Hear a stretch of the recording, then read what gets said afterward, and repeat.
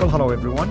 This is Al Fadi, and uh, we are back at uh, the series that we have entitled, uh, or titled, I should say, The Origins of the Name of Muhammad. And I, when I say we, I'm referring to myself and our dear brother Mel, who is joining me here remotely to discuss uh, in various episodes things related to the origin of the name Muhammad. And I think you are, uh, meaning you, the viewer, is going to find it really an eye opener, and hopefully you'll find it even an exciting uh, video series. Last time we did just a, a quick overview of what to expect. Today we're going to dive into the first episode where we begin to take a deep dive on the origin of this name. Uh, Mel, uh, how are you, my friend? And I'm going to turn it over to you to take it from here.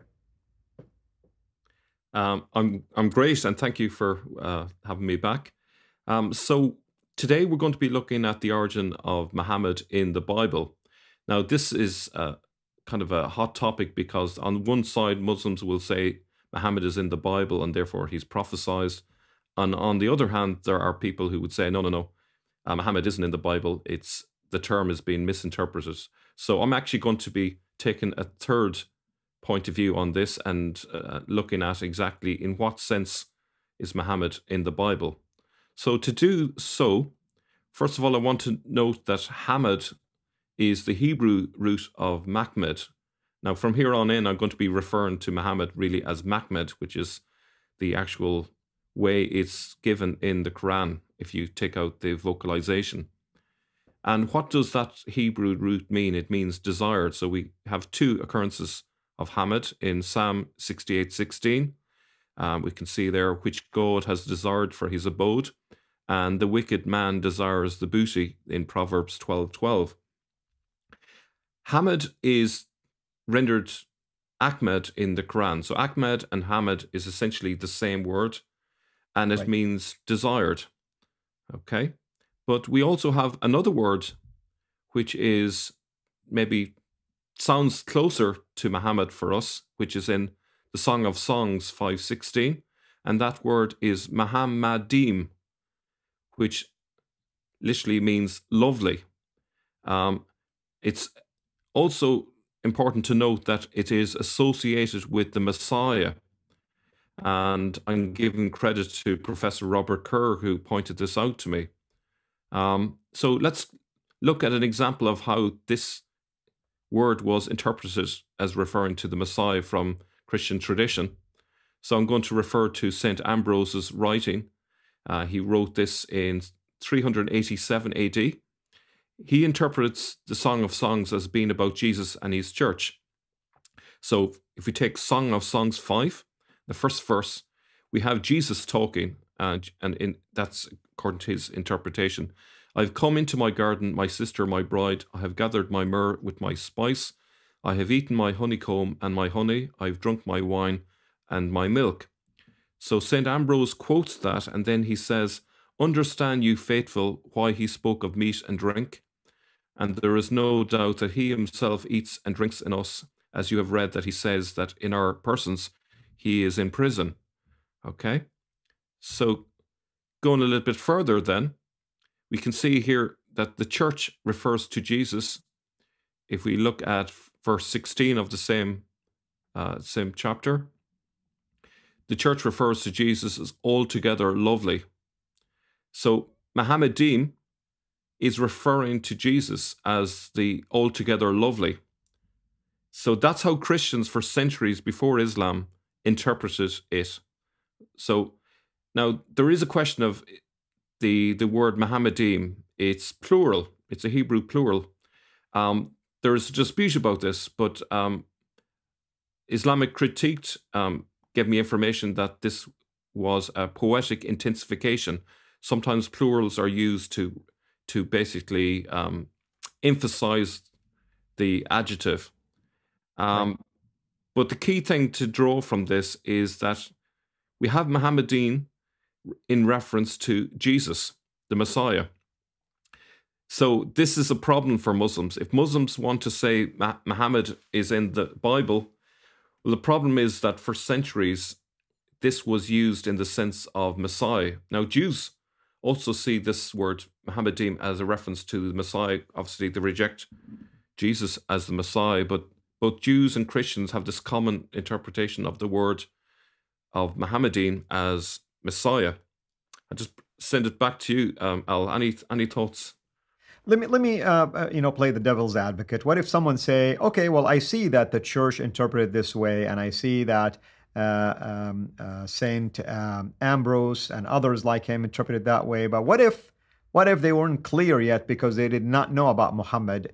And now Muhammad came into the scene, and all of a sudden now people are realizing, oh, so Muhammad is the fulfillment, the actual physical fulfillment of this. Well, I, I suppose if someone was a claimant to the Messiah, so if you imagine a group who were like a hybrid between Jews and Christians, which is what I believe founded Islam ultimately, um, if they're making a claim that they are the Messiah, the, the the the one that's expected to come, they would have to use that term for themselves, and that's what it seems to have happened. Um, whoever it was that stepped forward in the seventh century um, would have used that term if they thought they, they were the Messiah. Now, what's interesting is there was a Jewish person back in 135 AD called Bar Kokhba, and he led a rebellion against the Romans at that time. And many Jews considered that he was the Messiah except his mission failed and he got killed. And so they kind of dropped it and said, well, we thought he was the Messiah, but it turned out he wasn't. Now, what's interesting is that 500 years later was the anniversary of that. So 635 AD.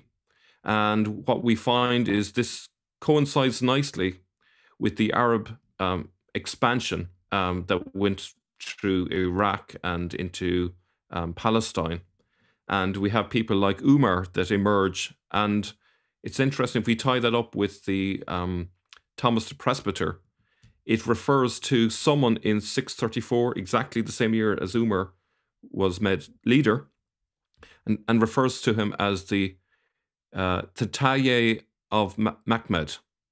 Um, so we, we can see that the term was being used in a messianic sense on the 500th anniversary or thereabouts on the eve of the 500th anniversary of uh, the first attempt at setting up a Messiah. Um, there could easily have been multiple attempts at uh, creating a Messiah in that century. Like, for example, back in 617, there would have been um, uh, the conquest of Jerusalem. Um, and so that could have been another opportunity for someone to claim to be the Muhammad or the Mahmed, but that wasn't entirely successful. So there was another attempt again in the 630s. Uh, this time it was successful. Um. But you really don't know how successful the whole attempt is until decades have passed. And I believe that it was really in the 8th century where uh, things started to settle down and people, particularly Arabs, considered the conquest to have been successful, and then they they started backdating the term Mahmed on someone in the seventh century, possibly uh, Umar, but maybe it was um, not a good enough person. Maybe they backdated earlier. Um, uh, but we have that Arab um, prophet of the seventh century connected with that term Mahmed, the, the Messiah. So I'm going to just remind everyone that in the Bible, the, the sense of the word uh, Mahmedim is really uh, the Messiah. Right, and and uh, you. you. know another uh, argument I can raise now, even though I played the devil's advocate earlier. I mean, like verse sixteen in chapter five of Songs of Solomon, uh, uh, it says this. His mouth is sweetness itself. He is altogether lovely. So here is a description of the person, not the name. And then there is an invocation here to a group called the Daughters of Jerusalem. So, right there, I would ask the Muslims Did Muhammad even ever make it to Jerusalem? Did Muhammad even ever came first to the Jews and then to the pagans, if you wish. If you would have said, well, he came to the Jews and the Jews re- rejected him, and that is therefore uh, he went back and now uh, preached to the Gentiles, if you wish, or the pagans. No, we don't find any evidence of this at all. And then, uh, uh Mel, have you ever done a study? I mean, and we have two minutes left, by the way. Have you ever done a study uh, on when did this idea came about by the Muslims? Like, was it in the 8th century, 9th century, 10th century, 11th century when they began to claim that this is about Muhammad? Yeah, I was reading um, uh, some articles by uh, Oleg um, recently, and his suggestion is it was in the 8th century when the term got transferred to um, uh, an Arabian prophet. Uh, up to then, there was even a term Mahmed Jesus that was being used, according to him, up to the 700s, and then gradually died out. And it seems to be, according to him, that it was when the Persians became more influential. They weren't all that um, happy about the whole Christian thing, and he basically the the association with Jesus was basically pushed out, and what was left was this Arabian prophet. And then we have all the creation of the Hadiths around that time, um, and the inscriptions that seem to be pointing to uh, an, uh, an Arabian prophet all started to happen around the 730. So we're talking about the 8th century or 100 right. years after after the time. Um, and it's interesting, the connection with Jerusalem as well is important because the Messiah had to be Jewish. this is a major problem. But Jews and Christians are clear about this. The Messiah has to be Jewish. Now, for Christians, the Messiah has come and we're expecting Jesus to return at the end of time. Um, right. For Jews, it's they're still waiting for a Messiah, but he must, to be accepted as a Messiah, he must be Jewish. And that's a major problem for Muslims because if, if they want to claim that Muhammad was an, uh, an Arabian pagan who uh, got this revelation, well, sorry, he doesn't qualify as a Messiah. He has to be Jewish, and that's a major problem.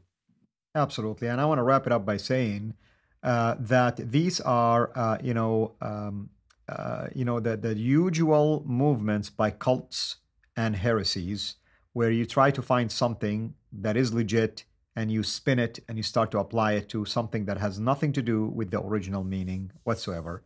Thank you, Mel, and I appreciate you. And I know in the next episode, we are going to ca- carry on these conversations. We're going to talk about Oleg, I believe. That's, uh, uh, you know, what your intention is to do. And then people will take a look at even, uh, you know, the origin of this name predates even Christianity um, as well. So thank you for the research. Thank you everyone uh, for watching. This is Al Fadi over and out. God bless.